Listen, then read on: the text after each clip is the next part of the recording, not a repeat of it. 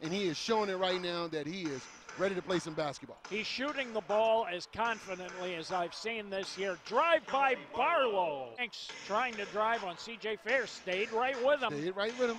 Good Here's contest. Barlow oh. on a three. Oh, maybe not that good of a contest. Right elbow, power drive to the basket, and Romero stopped him at the gate. Two seconds, one second. Barlow a 30 footer. Got it! Got it! Wow. A glass banger. The first quarter. It does rub off, though. A long three pointer. Good shooter. I mean, he's known for that. He just- Barlow. he hasn't had the minutes though. He's, I know he's looking forward to some minutes and getting getting his groove. Frazier, that is. Right Not about just that. at home.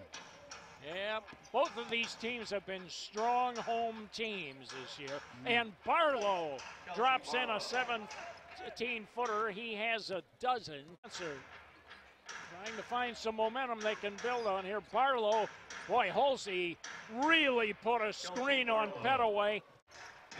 He has quite a game, there's no doubt. You can see why the Pacers selected him. Now Romero seals off the inside and got a great pass in there and just was wide open to lay it up. He has four. Could pull within a point with a field goal, could tie it with a three. Barlow driving, puts it up hmm. off of the glass and in. Picks up Dante Jones.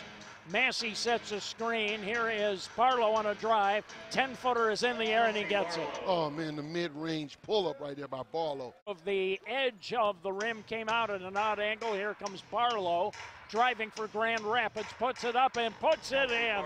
Barlow is just having a great game. He 20 sure is. How long do you wait on Raheem here down the Shouldn't wait too long. I'm surprised that he should be back in the game. right Barlow with now. another two ball, Jaron. He has 24.